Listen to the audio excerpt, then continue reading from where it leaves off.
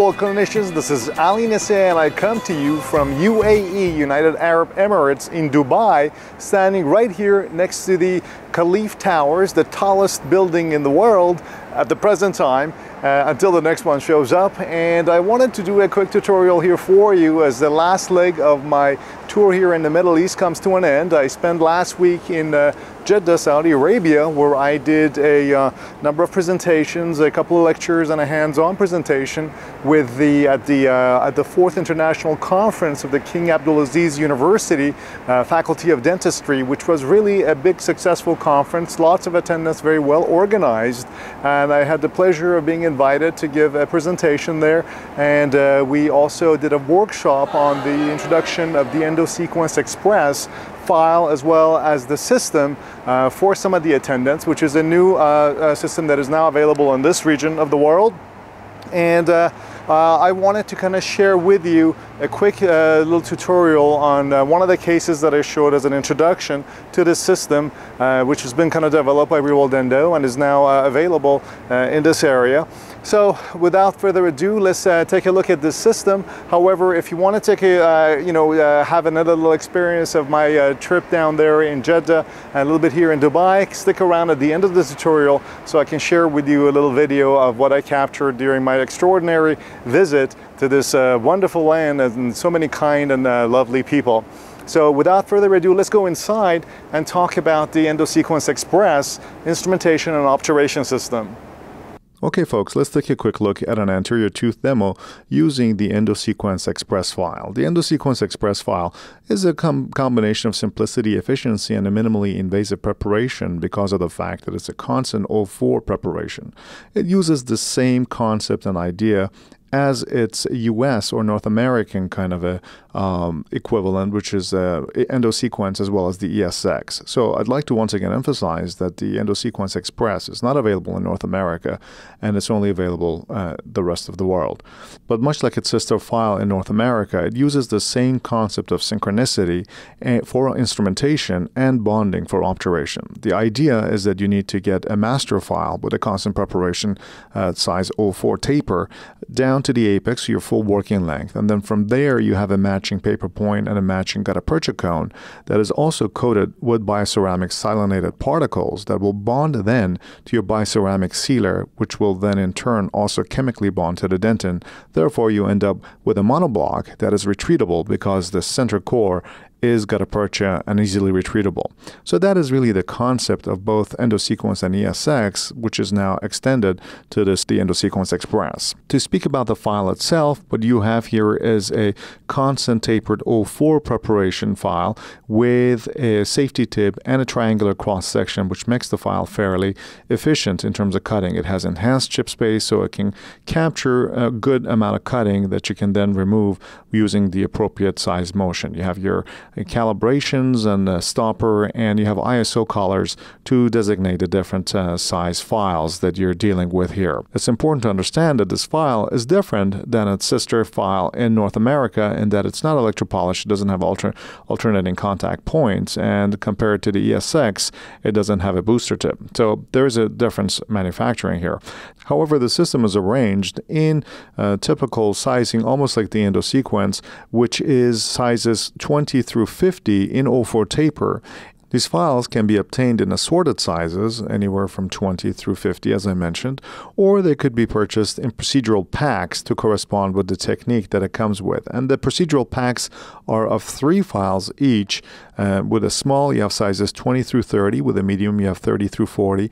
And with large, you have sizes 40 through 50. So these procedural packs basically tell you it's a clinical technique that allows you to go from uh, getting a size 1502 uh, canal and then instrument using three files to complete the preparation. And the technique can be summarized in the following way. Once you get a size 1502 hand file down to the apex, uh, then what you have, you can triage to either a size small, medium, or large procedural packs. And the way you would know which procedural pack you need for a given canal, it's basically determined by the amount of engagement that your 1502 is experiencing on its way down to the apex. If you have significant amount of engagement, then you need to open a a small procedural pack, which is sizes 20 through 30, O4 taper, constant taper, EndoSequence Xpress files. If you had moderate engagement and you're dealing with a procedural pack medium, which is sizes 30 through 40, and you had minimal engagement, you're dealing with a size 40 through 50 large procedural pack.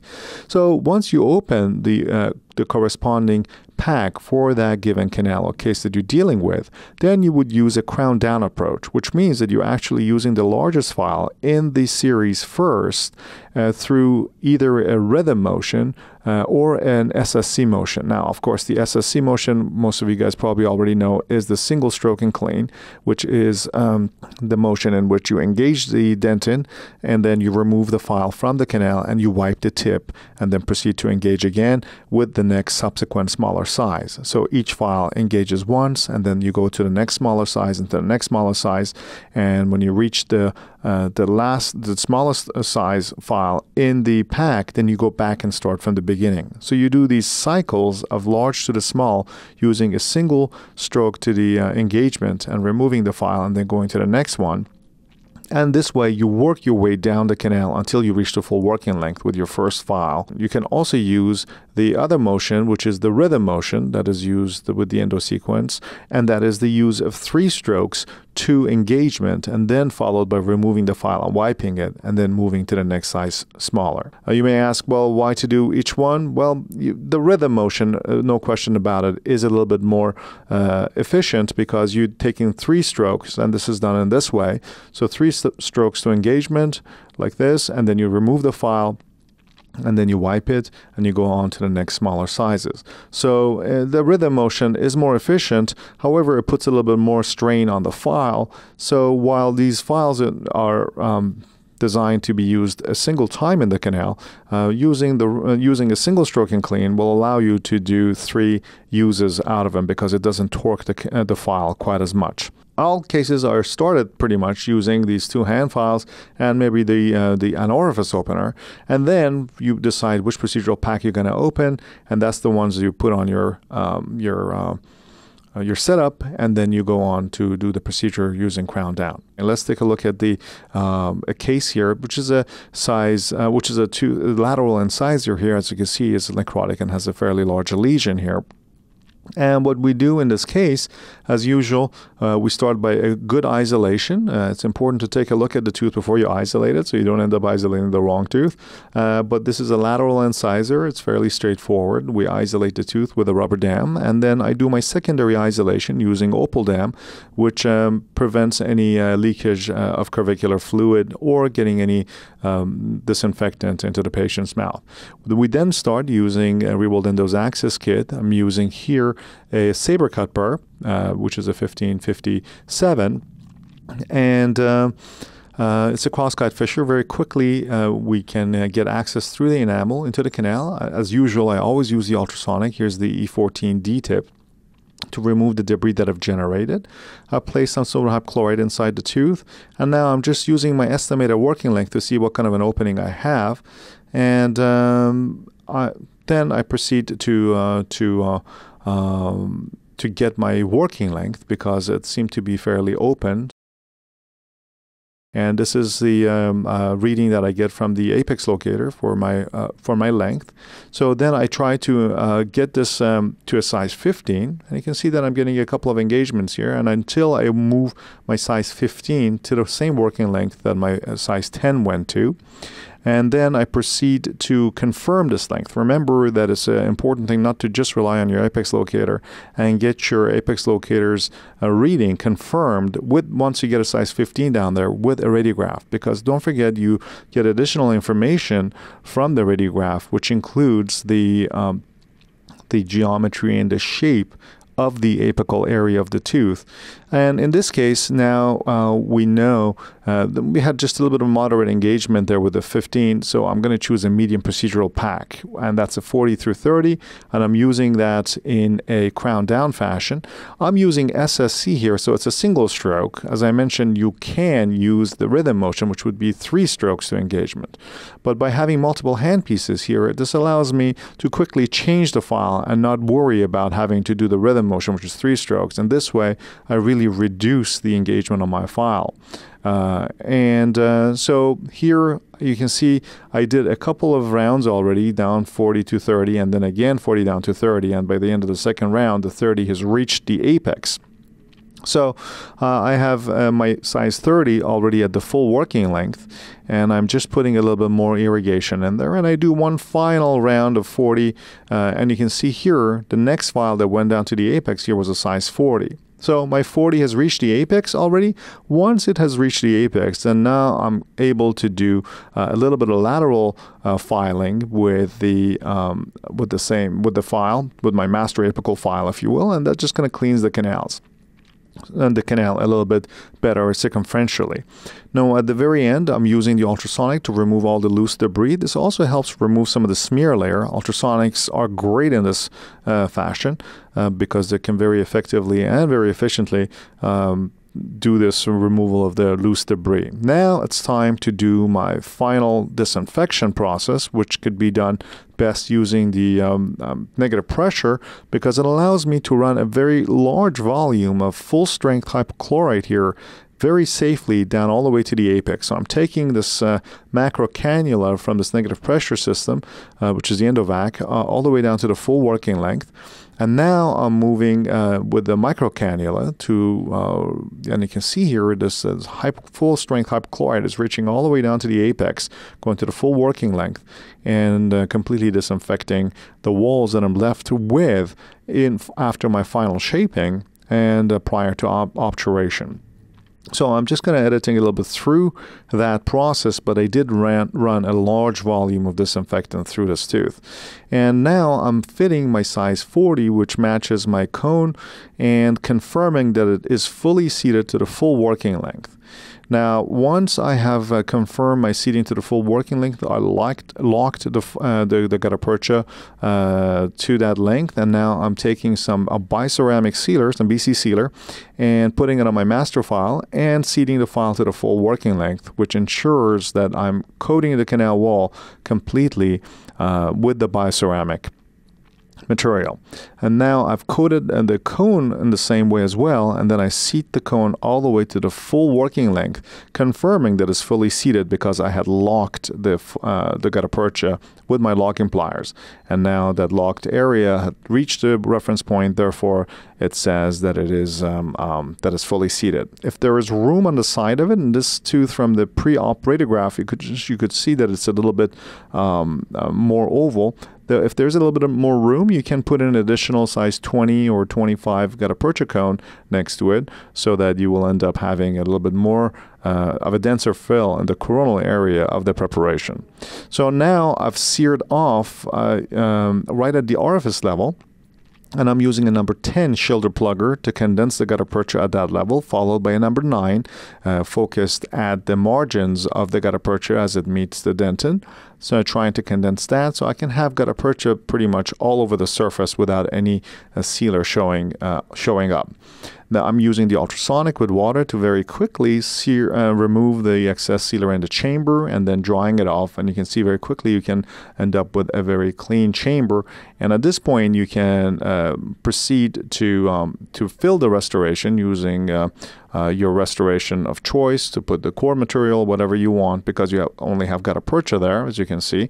The sealer surface is covered. In North America, uh, endodontists usually don't restore the tooth, so I'm just putting Cavit in there and referring the patient, sending the patient back to uh, his referring source to restore the tooth. And here it shows the final fill of this case, and you can see that we have a fairly dense, a nice uh, fill um, to the apex. And the key here is finishing a tooth like this, which is a necrotic tooth, uh, in one visit requires that kind of instrumentation and a large apical preparation that I have to a size 40 and the use of bioceramics are also very helpful in the sense that allow me, it allows me to have uh, that uh, high pH material that is chemically bonded both to the dentin as well as to the, uh, to the gutta percha. Now, uh, this tooth has, was done about three months ago, followed up with the patient, and the patient's doing very well. I'm going to have in the future a follow up of it um, uh, down, down the line for you guys to view. But the patient's doing very well. Okay, as you saw, the EndoSequence Xpress is a fairly straightforward, simple, and yet not simplistic uh, method by which you can instrument uh, canals and obturate them using the bioceramic technology. So this system is now available internationally and in certain given areas, so you may want to check uh, with your dealers. However, to go back to, uh, to my trip to the uh, Fourth International Congress of the King Abdulaziz University, I can only tell you that it was a really world-class uh, level of a conference. Lots of great speakers and uh, great organization uh, and wonderful people who attended. Very attentive uh, group of students as well as other um, professionals that attended. And the trip started pretty rocky for me because I had to get a visa to go to Saudi Arabia, and I had some, you know, I had it kind of hit some snags for me to to kind of get it, and actually I ended up getting my passport right at the same day as I was supposed to fly back. Uh, and then from that on, everything just kind of happened. Uh, it was very close call. So I'm just going to you know, stop talking and share with you the video that I captured during this time. And uh, I will see you at the next tutorial, but we will probably talk about uh, the use of the EndoSequence Xpress in a molar or something like that. In the meantime, for Real I'm Ali Nasseh, and I hope you found this uh, tutorial helpful.